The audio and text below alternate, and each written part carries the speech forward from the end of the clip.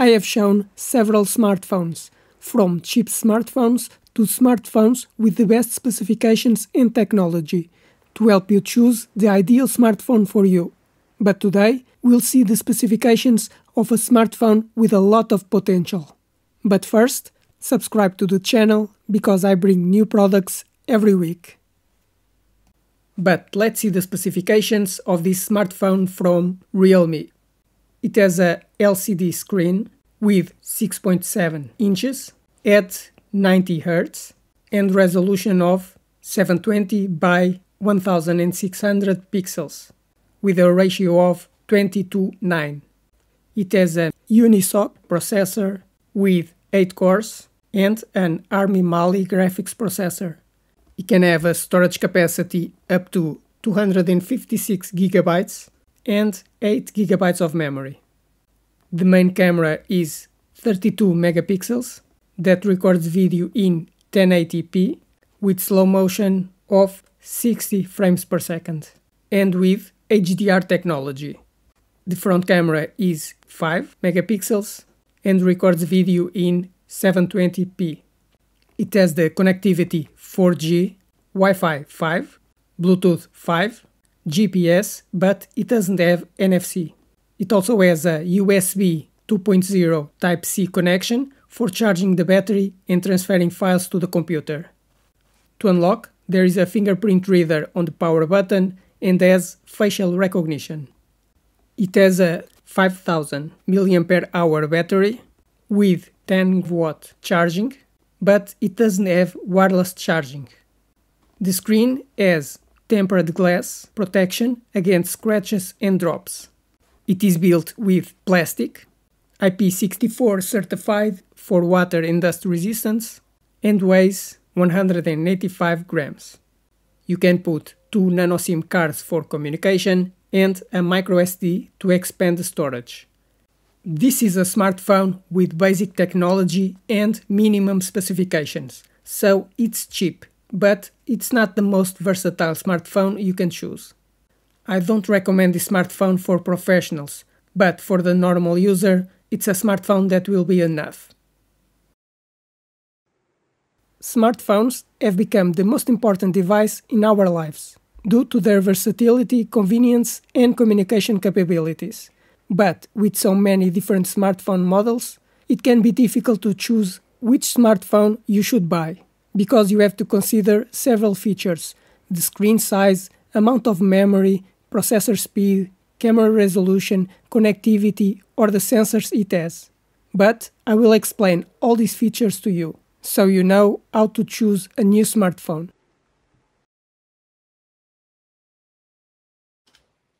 About the screen, you can choose the size of the screen, either it has a cutout for the front camera, the resolution, the refresh rate, and the type of screen, because it may have more vibrant colors. I recommend an OLED screen with 6.7 inches with 120 Hz. About the processor. The processor is very important because the faster it is, the faster the smartphone will work and the smoother your interaction will be. A processor can have multiple cores, speeds, and an integrated graphics processor, which is very important for gaming. I recommend that it have a MediaTek or Snapdragon processor with at least 6 cores at 2.4 GHz.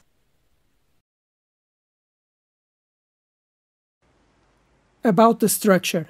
A smartphone can be made with different materials plastic, metal, or glass. It can also have a coating to be more resistant to impacts or scratches. And it can be waterproof and dustproof.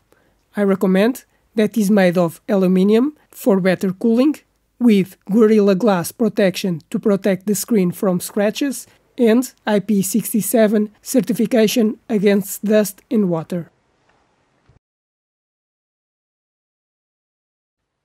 The RAM memory is the memory that all applications will be running when you use your smartphone. So, if you normally have many apps open, you have to have a lot of memory. And you can choose from 4 gigabytes to 24 gigabytes. I recommend that you choose with at least 8 GB, but if you play games on your smartphone, you may need more.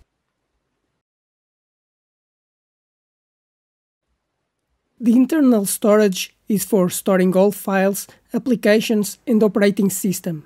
A smartphone can have between 64 GB and 1 TB of capacity. I recommend choosing a smartphone with at least 128 GB. But if you record videos and take a lot of photos, you should choose with 256 GB. But if you have a lot of files and movies on your smartphone, you may need even more capacity.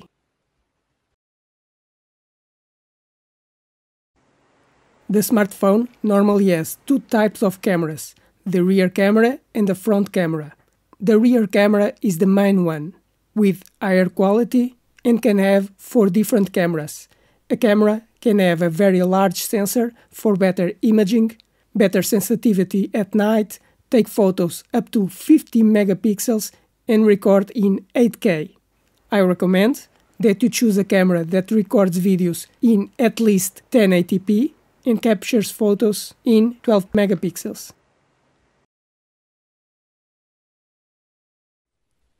The front camera will normally be for you to make video calls, but it can take a lot or little space on the screen. It can have 32 megapixels and record 4K video, but for video calls, a 720p camera is enough. About the smartphone security.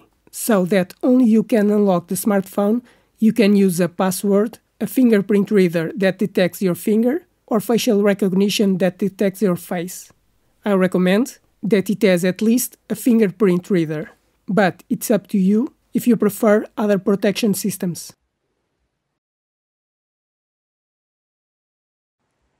With smartphones becoming thinner and thinner, some connections are no longer existing. But a smartphone can have an audio and USB connection. I recommend a smartphone with a USB Type-C connection for power charging and copying files to the computer. But if you need to connect headphones or a wired sound system, it must also have an audio connection.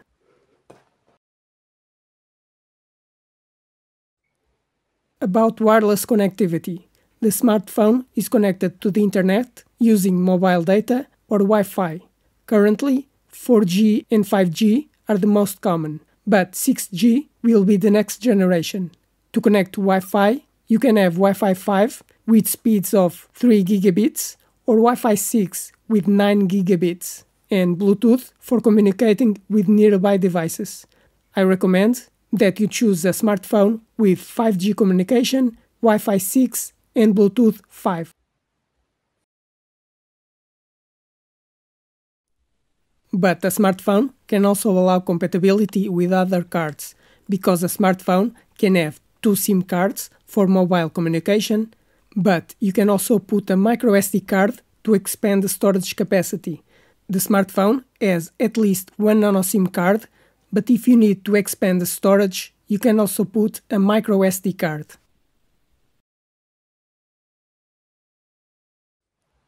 The larger the battery capacity, the longer your smartphone will last before you have to charge the battery again.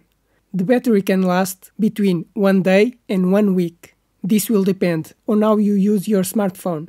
Either you keep the screen turned on for a long time if you are using the Wi Fi or if you record a lot of videos and photos.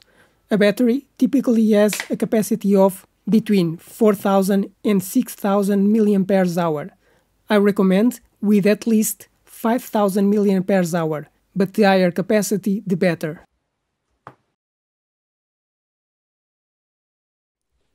Charging the battery can be done in two ways, wired or wireless. Wired charging can be between 10 watts and 240 watts. The higher the power, the faster will charge, being able to charge your smartphone in 15 minutes. Wireless charging can be done between 5 watts and 50 watts. I recommend that you have at least 20 watts of charging, which will charge the smartphone in 40 minutes.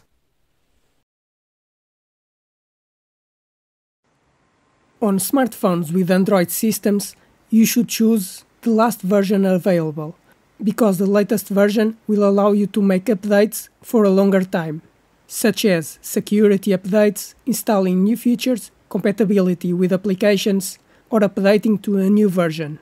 That's why I recommend that you buy a smartphone with the latest version available of the operating system.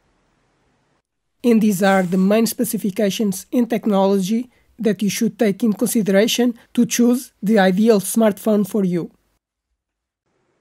I hope you enjoyed this video and it helped explain the specifications of a smartphone to choose the best smartphone for you. But now, subscribe to the channel because I bring new products every week, like the video to help the channel grow, and if you have any questions, write in the comments.